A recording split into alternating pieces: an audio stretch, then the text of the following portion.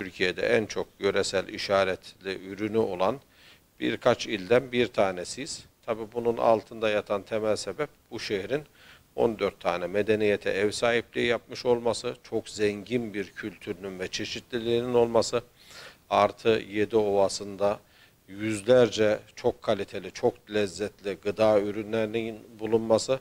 Tabii bütün bunlar bizim e, geçmişte bir de Anadolu'da bin yıl boyunca ticareti e, en gelişmiş dört ilden bir tanesi olması hem İpek yolu hem baharat yolunun üzerinde olması nedeniyle bu şehrin inanılmaz değerleri ve rezervleri çok zengin bir kültürü var.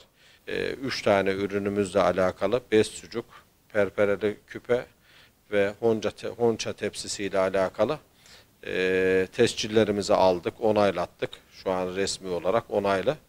Tabi bunların hepsinin e, ayrı ayrı hikayeleri var. Honça tepsisi e, düğünlerde damatla geline e, düğün gecesi e, ikram edilen içerisinde yiyeceklerin bulunduğu özel bir tepsi, özel bir ikram, özel bir hediye. E, bez sucuğumuz son derece doğal, organik, içerisinde hiçbir katkı maddesi bulunmayan, son derece lezzetli, son derece güzel bir ürün ee, ki ben e, Tokat'a özel, sadece Tokat'a ait olan e, bez sucuğumuzu herkesin tatmasını rica ediyorum. E, bir daha başka sucuk almayacaklar diye düşünüyorum. Onun dışında perpereli küpemiz de yine e, daha çok çocukların, kız çocuklarının taktığı e, binlerce yıldır ki Türkiye'de başka belki Anadolu coğrafyasında küçük kız çocuklarının bu anlamda çok bin yıldan daha uzun bir süredir taktığı bir e, zinet eşyası e, bilmiyorum var mıdır yok diye düşünüyorum. Tokat kebabını 2015 yılında tescilledik.